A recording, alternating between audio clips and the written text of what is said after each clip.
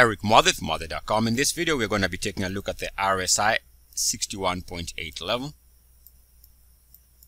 and how it can play a critical part in some of the turn points and swing trade opportunities that it gives from time to time. Now, this is an all-time monthly chart for LL. And what we're going to do here is let's draw our uniformity line. We can see a break here in 2014 of those highs. We take that line or that breakpoint and draw our uniformity resistance line.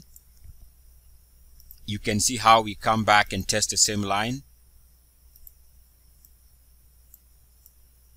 which gave us that high for 2017. The point is the black line happens to be around the RSI 61.8 level on the monthly.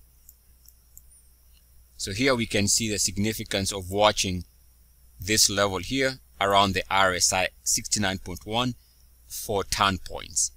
All right, let's take a look at another example. And here we're looking at LG, ticker symbol LPL. Could be any ticker symbol. What I'm going to do here is just draw a simple line from somewhere here. This line is around the 61.8 RSI level. Notice how we have uniform activity rejection here of those highs. We came close here, we were rejected of those highs. We went above it, back below it, of this high we are rejected here of that high rejection here of this high. And we even came close here we are rejected again of this high. It also gives us an interesting breakpoint here. When we broke it and went below it that corresponds with the all-time price highs.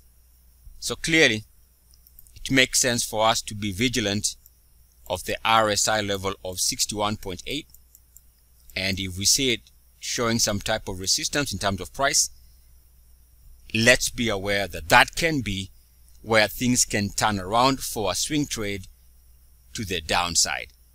Eric Muathe's, Muathe.com as always good luck, peace and blessings. E, a C, S. Woo!